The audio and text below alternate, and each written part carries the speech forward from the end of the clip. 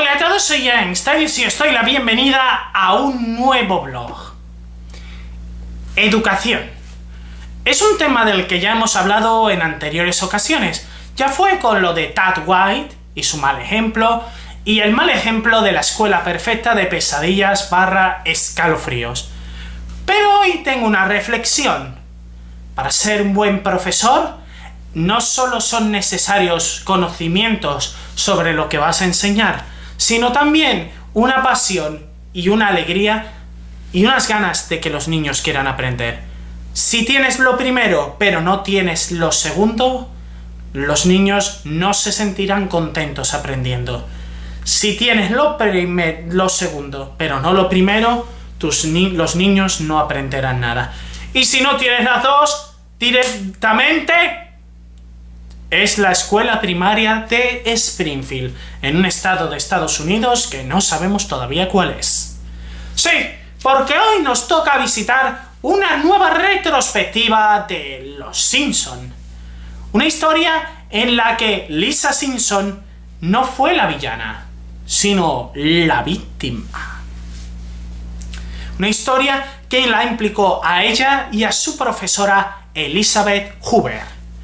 Así que, como diría Perinois, ¡qué pasión! Y sin más relleno cremosito, hoy vamos a hablar de ese día en el que el futuro de Lisa casi queda arruinado. Pero antes, vamos a por algunos anuncios. Mañana tendremos un blog sobre Ayatu y su retorno en formato diario. Los ocho programas emitidos serán analizados en un solo resumen. También dentro de poco voy a estrenar nuevos, nuevos episodios de Fire Emblem Echoes Shadows of Valentia, día 9 y 19, y de Fates, el 14 de enero.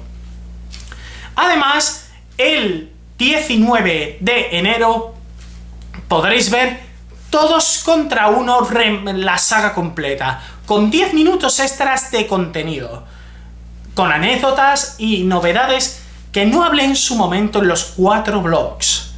Además, el 22 de enero tendremos el especial de el cuarto aniversario de la edad dorada de los concursos de televisión en España. Una retrospectiva para conocer a los mejores concursantes de España. Además, este mes estrenamos dos nuevas sagas. Y no voy a decir más. Y también vamos a estrenar nuevos, nuevos gameplays digitales como Pinball M, Rainbow, Rainbow Runner, una de las mayores estafas de la, de la eShop de Nintendo Switch. Continuaremos con Metagal, Doracone, Petit Novel Series y mucho, mucho más. No os lo perdáis. Suscríbete, activa la campanita, dale like, comentario y ya sabéis que podéis ayudar al canal con el botón Super Thanks con cantidades fijas que podéis dar con el botón de, Super Thanks o uniros al canal por 0,99 y poder disfrutar de vídeos exclusivos. Cada 15 de cada mes podréis ver Pangazo TV PIP. Y listos y muchas más cosas. Y ahora que llega el momento de analizar ese episodio llamado Lo siento pero no lo siento. Original de la temporada 32 de Los Simpson, número 9 de la temporada.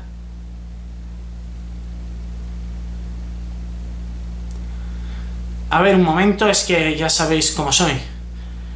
Todo empieza en el tejado de Los Simpson.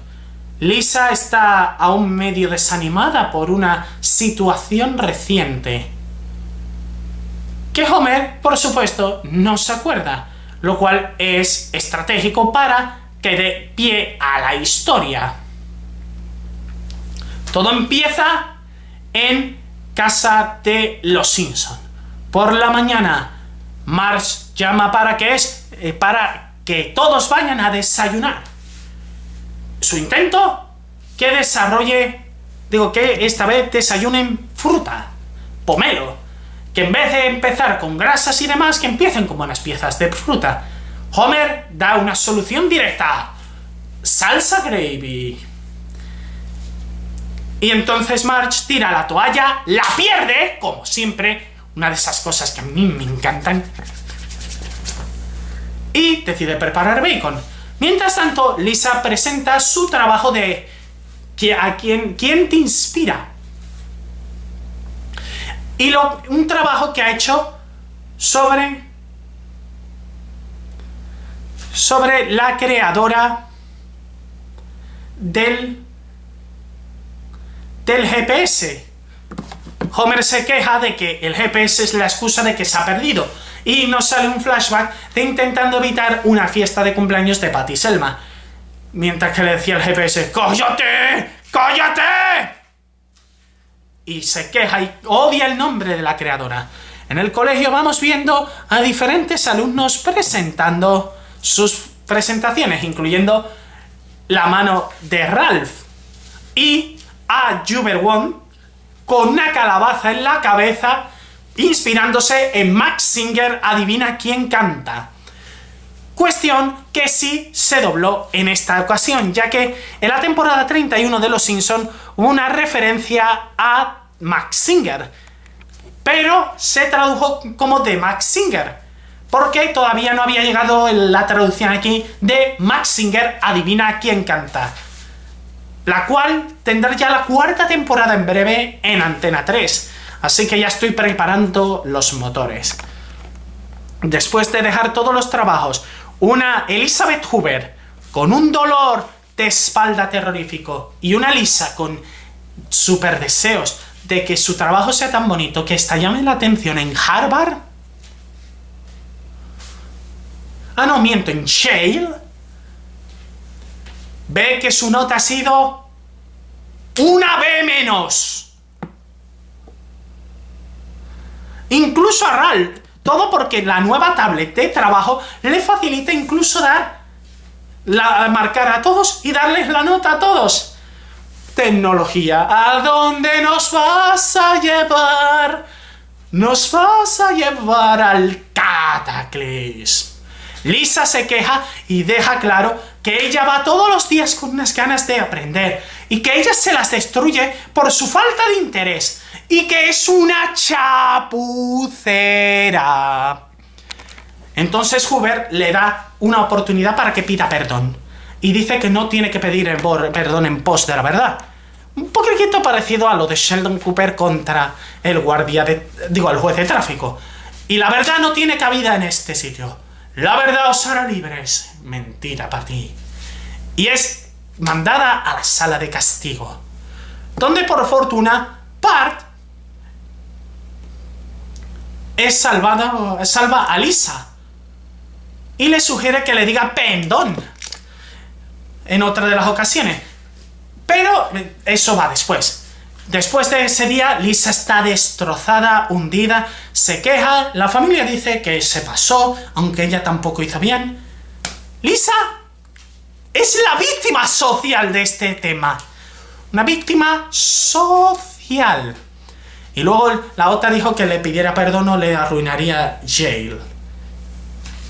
O sea que vas a jugar con su futuro solo porque tienes el principalismo de que tiene que pedir perdón cuando tú te equivocaste, los malos a veces son peores.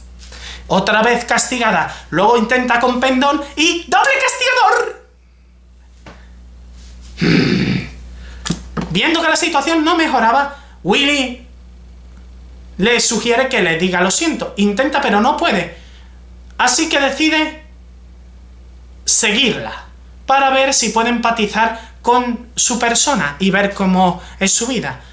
Después de ir llevando por vehículos, incluso subirlo en una caja de cartón, incluso la, eh, ve que la vida es solitaria y se da lástima. Y además que está cada vez peor de la espalda. Así que Lisa decide vender cosas y usar sus ahorros para comprarle un soy, una silla con, con para que pueda reposar. Y Liz, pero la señorita Hoover se niega a aceptar sus disculpas de llamarla chapucera. O sea, Lisa se pasa todo el rato siguiéndola. Pierde un montón de pasta en comprarle algo para que su profesora se sienta mejor todo porque había empatizado y se sintió mal, y no le da el perdonamiento, pero cuando ve que la silla tiene masaje, la perdona y le da un poquito más de nota. Por lo tanto, Lisa se siente mejor. Así, volvemos. Y está feliz, y Lisa está feliz. Pero también le ha dado a Ralph nota extra. Por lo que Lisa hace ¡Tum! Y cerramos así esta pedazo de mierda de historia. Porque sí, este es uno de los peores episodios de Los Simpson que he visto en mucho tiempo. Es repugnante la actitud de Elizabeth Hoover. Elizabeth Hoover ya sabemos que es una mala profesora, es un desastre de profesora. De hecho, tiene tan pocas ganas, odia a Ralph con ganas. Pero si puede odiar a Lisa, la odiará porque es demasiado lista. Un profesor ha de ser, como he dicho, bueno y respetuoso, incluyendo en los estándares actuales. Si esto ocurre en la vida real, aquí hay un expediente disciplinario XXXXL. Y la verdad es que quería hacer este blog porque, al fin y al cabo, es necesario eso. Esos dos valores que os dije, ganas de enseñar a los alumnos y conocimientos. Y yo tuve una historia muy parecida con dos profesores en primaria. dos profesores horribles. No voy a hablar de ellos en detalle porque respeto la privacidad de las personas. Pero digamos que pasé el quinario. Fue una experiencia terrorífica. No fue hasta secundaria donde descubrí que los profesores podían ser buenos. Y la verdad, me duele que Lisa, que es uno de los personajes que más odio de los Simpsons, sufra tanto por alguien que la odia por antonomasia. No sé si es un correcto uso, pero un odio así es que Elizabeth Hoover debería haber sido despedida hace muchas temporadas. Y las veces que ha odiado a Ralvigon y a Lisa por ser muy lista, tócate las narices. 33. De hecho, este capítulo prácticamente rompo el televisor. Fue el primero de dos que odié eh, de esa temporada, siendo el otro el de Belen Things, el que hablé el 22 de diciembre del 2022, en el que además perdí los nervios, se me temblaba la mano, es que me pone malo. Y este capítulo, es que he tenido que reverlo para poder haceros esta retrospectiva. Y no sé cómo no he explotado de, enfado. La vida es así. Hay capítulos de Los Simpson buenos y hay capítulos de Los Simpson que deseas coger una pala y meter los archivos digitales hasta 10 metros. Pero bueno, siendo este episodio tan horrible, imagino que la próxima retrospectiva de Los Simpson va a estar bien. Y lo va a estar, pero tendréis que esperar a febrero. Y bien, ahora vamos con la pregunta de siempre. ¿Qué os ha parecido el blog? ¿Visteis este capítulo? ¿Quién tenía razón? ¿Lisa o Hoover? Dejadme en los comentarios vuestra opinión y espero que hayáis disfrutado con este blog, porque para mí hacerlo ha sido un infierno. ¡Chao!